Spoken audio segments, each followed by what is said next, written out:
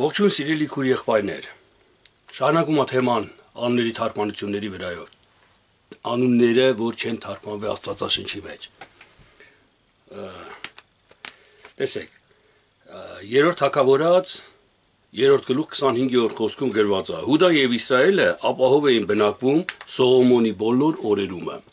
Հուդան ու Իսրայելը ապահով էին բնակվում Սողոմոնի բոլոր օրերումը։ Տես Հուդա, Իսրայել եւ Սողոմոն անունները չի թարգմանվել ուղղակի ոնց Հուդա ասել են ընդ այտենց գրվել է Հուդա Եվ մենք կարծում ենք Հուդա Հուդան անհասկանալի է մեր համար, հոգևոր իմաստով անհասկանալի է։ Իսկ մարմնավոր գիտենք, որ մի հատ Հուդա անուն էր, Հուդայի ցեղ էր։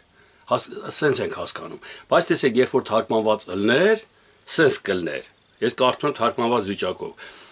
Գոհությունը, մարդու միջի գոհությունը եւ ապաշխարությունը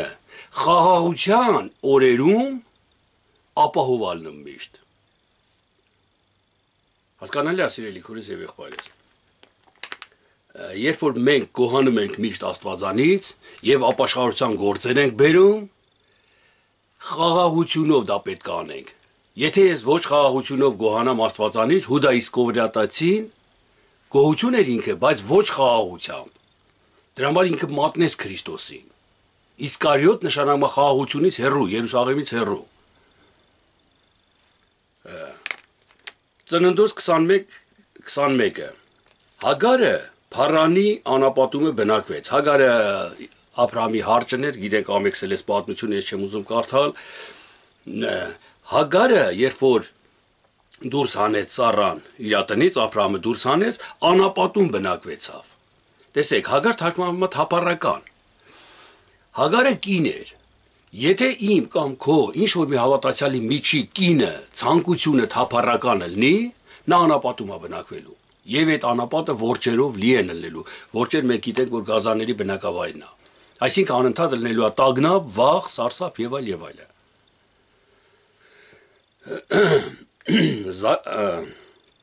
Հեսու 7-րդ գլուխ առաջի խոսքում գրված է.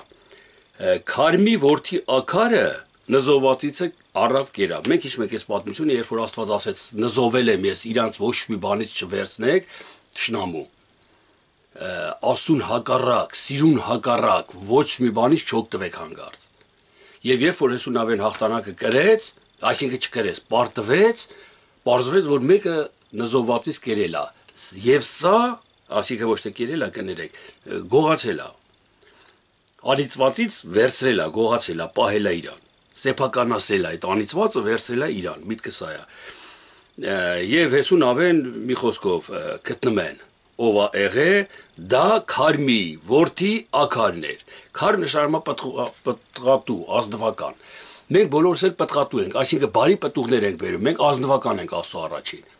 բարի գործեր ունենք ասո առաջին բայց երբ որ նեղության մեջ ենք ըլնում նեղություն նեղությունից մենք արդեն նզովացից անիծվածից օգտվում ենք Սա խորը միտք է, բայց մեր ամեկի կյանքում, ամեկի կյանքի մեջ կատարվում ասա, սիրելի քորիս եւ եղբայրս։ Երբ որ ես նեղության մեջ եմ ելնում, կարծես թե նեղությունը ստիպում է ինձի, դե լավ, դե չի կարելի Աստված ասերա նզովել եմ, էդի չանես, մի բան փաս այդ եղբայրից, բայց այնքան ախր վադնա ինքը ու սկսում ես պատմել մարդկանց։ Այդ նզովացիցը դու վերցնում ես արդեն սկսում ես օգտագործել քո կյանքի մեջ։ Այսինքն բամպասում ես կամ անիծողին անիծում ես։ Ու դե շարունակ սիրելի քորիս եւ եղբայրս։ Ծննդոս 10-15-ում գրված է. Քանանը Քանանը ծնեց Քետին։ Երբ որ մենք նայում ենք, հա, ինչ, Քանան մի հատ մարդ էր, երեխա ունեցավ, անունը դրեց Քեթ։ Հա, հետո ինչ։ Ինչ է տալի դա մեզ հոգևոր, ոչ մի բան։ Բայց եթե թարգմանությունով ենք կարդում, տեսեք, Քանան նշանակում է ցած հարթ այսինքն մարմնավոր գետնի երկր, երկրավոր քո երկրավոր իմ երկրավոր հասկացողությունը, ցածր հասկացողությունը ծնելու է սարսափելի մտքեր։ Եթե Աստվածաշունչը կարդամ երկրավոր, գրով, մարմնավոր, Աստվածաշունչն ասում է գիրը սپانում է։ Դա սարսափելի մտքեր է ծննում։ Եղբորդ ատում ես դու, գրված է։ Դες եղբայրը հանեք գցեք դուրս օրինակի համար։ Սարսափելի է, ծնում է սարսափելի գործեր։ Սա է ապաշխարությունը սիրելի քուրս եւ եղբայրս։ Տեսեք, ծննդոց 25 մեկում գրված է. Եվ Աբրահամը դարձյալքին առավ եւ նրա անունը Քետուար էր։ Քետուրա էր։ Աբրահամը հավատքի հայնա, մենք գիտենք Սարան երբ որ իր կինը մահացավ, ինքը էլի մի 6 հատ կինա ունեցել եթե չեմ սխալվում Աստվածաշնչով։ Բայց Սարայի մայից հետո դարձյալ կին առավ, որի անունը Քետուրու Քետուրա էր։ Քետուրը նշանակում է անուշահոտություն։ Մեր միջի հավատքը, տեսեք, իմ միջի հավատքը նորից ցանկությունա ձեռք բերեմ, որ անուշահոտությունա։ Նույնն Աբրահամն էլ է մեր մեջ, կենթանի Աբրահամը մահացած չի, հիշեք Քրիստոսի խոսքերը որ այդ Աստված մեռելների Աստվածը չի, կենթանի Աստվածաշունչը կենթանի այսօր մեր մեջ, ոչ թե դրսով Աբրահամը կենթանի արդեն չգիտեմ քանի հազար տարեկան է, ոչ, մեր մեջ է կենթանի Աբրահամը։ Չէ որ Աստվածա շունչ ենք մենք ասում, Աստծո շունչն է, իսկ Աստված հոգի է, իսկ իր խոսակցությունը հոգևոր է, հոգի է իր խոսակցությունը։ Անցնենք առաջ։ Հովանես 2:1-ում գրված է. 1-ից մինչև 11-րդ խոսքը։ Եվ երրորդ օրը հարսանիք էր Գալիլեայի կանա կանայումը, որտեղ որ գինին փոխեց ջրի Հիսուս Քրիստոսը։ Եվ երրորդ օրը, երրորդ օրվա մասին մենք խոսացել ենք, սիրեներ, որ սկիզբ ծնունդ առաջի օրը, երկրորդ օրը ընթացք, երրորդ օրը կատարելություն։ Երբ որ իմ մեծ ծնվում ա մի միտ, որ սուտ ասելը խափելը մարդկաս լավ բան չի։ Դա առաջի օրն է, ես հասկացա, լուսավորվեց իմ միտքը։ Երկրորդ օրը, երկրորդ օրը արդեն շարունակվում է։ Այդ անընդհատ ես պահակալի որ պետք է խափեմ մարդկանց, երբեմն սայթակում եմ խափում եմ, երբեմն զսպում եմ ինձի չեմ խափում, երբեմն աղոթք եմ անում ուժը տալի Աստված չեմ խափում, երբեմն թուլու տկար եմ լնեմ, նորից եմ սխալվում։ Դա երկրորդ օրն է, շարունակական օրը դա։ Ու այդ օրը այնքան է շարունակվում, ինչև որ ես հասնում եմ երրորդ օրվանը կատարելության մեջ, արդեն ես չեմ խափում մարդկանց, սուտ չեմ ասում արդեն։ Այս երրորդ օրվա մասին կարծեմ մենք խոսացել ենք, սիրելի քույրեր եւ եղբայրներ։ Տեսեք, այդ երրորդ օրը, երբ որ ես արդեն հասկանում եմ, ասու խոսքը գիտեմ լավ, կանայումը հարսանիք, այսինքն կանա նշանակում է երրանդ։ Ես երանդության մեջ եմ, երբ որ հասկանում ես դու, սիրելի քուրիս եւ եղբայրս, եղել է հեչ, որ քո միաբան եղբայրների քուրերի հետ ինչ որ տոնախմբության մեջ եք եղել։ Միաբան մտքի վրա ինչ երանդուն եք եղել։ Ինչ սիրո մեջ եք եղել իրար հետ միաբանության մեջ այդ երրորդ օրվա, երրորդ օրը միաբանության խաղաղության մեջ, սիրո մեջ հարսանիք էր ուտել խմել էր։ Ես երբ որ մի հատ եղբոր հետ զրույց եմ անում, որ իրար հասկանում ենք հոգևոր սաղս, երանդա իմ մեջ հարսանիք է կատարվում։ Եվ այդ ժամանակ խոսքը Աստվածային խոսքը, Աստծո բերանից դուրս եկած խոսքը, որ Հիսուս Քրիստոսն է, ջուրը Աստծո խոսքը, փոխմա գինի։ Իմ համար այն խոսքերը, որը Աստված կործանեց Եգիպտոսի ժողովրդին ջրի տակ, այդ իմ համար երրանդու ուրախություն է, ոչ թե որ սպանեց այն մարդկանց մարմնավոր ֆիզիկական, այլ հոգևոր իմաստով իմ մեջ կործանեց իմ մարմնավոր գործերին։ Երրանդուն ուրախություն է։ Այսինքն այն խոսքը, մարմնավոր խոսքը որ ծովի տակ հորտակվեցին, դառնում է հոգևոր խոս, երրանդություն է դառնում ինձի։ Բերկրություն է դառնում ինձի։ Գինին վայելչության խորհրդապատկերն է, ես վայելում եմ այդ խոսքերը։ Ոչ թե չարությամբ ասում եմ, բա այտենց Եհովային չլսեցին դրա համար կործանեց Աստված իրանց։ Մենք արծու ասում չենք դնում կործան կործանող Աստված։ Այլ ուրախություն երանդուն ես ապրում, որտեվ հասկանում ես երրորդ օրն է դա, որ Աստված արդեն այդ ջուրը խոսակցությունը ուրախությունը երանդությունը դարձնում քեզ։ Լավ, թվոս 16-24-ում գրված է. Եհովան Մովսեսին ասեց. «Խոսիր ա ժողովրդի հետ եւ ասիր. Հերացեք կորխի Դաթանի եւ Աբիրոնի բնակության 4 կողմերիցը։ Մենք գիտենք այս պատմությունը, ինչ եմ ասում պատմություն, գիրը, որը գրված Աստվածաշնչի մեջ, մենք գիտենք։ Եվ երբ որ Իսրայելի ժողովուրդը դուրս եկավ Դաթան Աբիրոնի բնակության վայրից հերվածավ, նրանք ողջ-ողջ իջան դժողքը, երկրի ընդերքը, սենց է գրված Աստվածաշնչի մեջ։ Հիմի ես կարդում եմ թարգմանված, եթե անունները թարգմանվել Սա գրված է պատմություն, լոկ պատմություն, կա Պողոս Արաքյալի Տիմոթեոսին ուված թղթերի մեջ ասում է հերո մնացեք այդ առասպելներից։ Հերիական առասպելներից, սա հերիական առասպել է։ Հերյաներն էթմեին, հերյաները գեդինը բացվեց, ընկավ, սա առասպել է, հասկանում եք սիրելի գորիս եւ եղբայրս։ Իսկ եթե հոգեոր ենք մենք հասկանում, ահա տեսեք ինչա նշանակում։ Կորս նշանակում է ճաղատություն ճաղատություն ի՞նչ է նշանակում ճաղատություն երբ որ ես կարդում եմ աստվածաշունչը աստված սերա ու մեկ էլ վայ Միտեղ էլ կարդնում Աստված կործանեց, սպանեց, կրակով վառեց, երկնքից կրակի չով Սոդոմն ու Գոմորը կործանվավ։ Արդեն ես ճաղատվում եմ խոսքի մեջ, ճողվում եմ խոսքի մեջ։ Ոնց Աստված սերա ու կոտորեց։ Դե որ սերա ու ամենակարողը թող փոխեն մտներ ապաշխարեին ես մարդիկ։ Հասկանում ես, ճողվում եմ ես։ Ինչի համար, որտեղ ես մարմնավոր եմ հասկանում, մարմնավոր եմ, նայեմ, կարդեմ ես, գիրեմ կարդեմ։ Դաթան նշանակում է արարողություններ։ Դուրս եք այդ ճաղատությունից, այսինքն մի ճողվի խոսքի մեջ, Հեսունավեի խոսքերով ասած, մի կաղացեք երկու ոտի վրա, կամ Եհովային կամ Բաղամին։ Մեկ ճաղում ենք, մեկ մարմնավոր ենք կարդում, մեկ հոգևորը։ Մեկ եսի հոգևորը, այնի չէ մարմնավորը, ուղղակերված, ճողվածությունա դա։ Դա կորխնա, սիրելի քուրիս եւ եղբարս, հոգևոր իմաստով։ Իսկ աբիրոն նշանակում է դաթան նշանակում է արարողություններ։ Արարողություններ, որ այսօր մի հատ քույրիկ է ինձի գրե բաների մեջ, կոմենտարյաների մեջ դու Աստվածաշունչը չես չես հասկանում, մի խոսա եւ այլ եւ այլ։ Ես հասկացա իր դրթվածությունը ինչ չարությամբ էր։ Այդ խոսքը ուղղե ինձ Թեև շատեր են տեսնեմ, այդ մասին էլ ենք մենք խոսացել, որ դա իմ համար օրտություն է, ասենց ասած։ Բայց ինքը ճողված էր խոսքի մեջ ինքը չեր ընդունում այն միտքը, որ ես երբ որ ոտերս լվում եմ, Հիսուսն ասաց, եղբորդ ոտերը լվա, ես եղբորս ոտերը լվալով դրախ չեմ մտնի։ Ոչ մի բան չեմ անի։ Իսկ երբ որ եղբորս մեղքը լվամ, փոշոտված են թոթո մեղքերից փոշուց են ասած, ոտքերը լվամ հոգևոր իմաստով։ Ես կլվամ կանգնացնեմ իմ եղբորը, կզորացնեմ իրան, նորից դրախտի ճանապարհի, նորից Աստծո Քրիստոսի ճանապարհի վրա կդնեմ ես իրան։ Սա է ասեմ, այսօր ես սիրելի հարստվող, ես այդ կոմենտարյան չեմ պատասխանի, չգիտեմ, հենց հիմի եթե դու լսում ես, լսի։ Ես այսօր ոտ եմ լվում իմ եղբայրների ոտքերը լվանում եմ, ոնց որ գրված է։ Բայց ես գիտակցում եմ, ես արդեն երրորդ օրվա մեջ եմ, երկրորդ օրվա մեջ չեմ։ Երրորդ օրվա մեջ եմ, արդեն ես գիտակցում եմ, որ այդ ոտեն լվալը չի բանանի։ Եթե ոտեն լվալը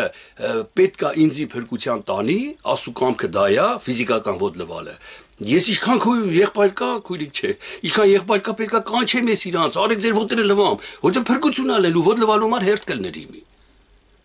Հասկանում եք, իսկ ներելու համար եղբորը, այն փոշին լվանալու համար հոգևոր իմաստով, իր մեղքերը լվանալու համար ոչ թե այս եղբայրս էս բանը անեմ, թողեք ինքը մեղքի մեջ, թող հանձնեք սատանային թոկորի, դա թողում ես իր մեղքը իր վրա։ Հիսուսն ասում է լվա այդ մեղքը։ Ես լվացի ձեր մեղքերը, ես ներեցի ձեզ իմ արյունով, իմ խաչով, իմ քարոզներով, իմ ամեն ինչով։ Դուք էլ արեք իրար։ Դուք էլ ներեք իրար։ Իսկ այսօր այդ քույրիկը ոնց որ չեն ներում ինձի բայց ոդկ էր լվանում։ Այդ արարողությունը անում ու կատարում էր։ Այս արարողության մասին ասիրելի քուրս եւ եղբայրս, որ դուրս եկեք դրանց սահմաններից։ Եվ երրորդը աբիրոն նշանակում է բարձրացող նենգությամբ որը մարդը բարձրանում է նենգությամբ։ Ինքը հարգանքա ձեր բերում նենգությամբ, ուրիշի ոտի տակը քանդում է, որ ինքը բարձրանա։ Դա նենգություն է։ Բամփասում այն մյուսին, որ իր տեղը ինքը դառնա հովիվ։ Դա նենգություն է, նենգությամբ բարձրանալ, հասկանում եք սիրիներ։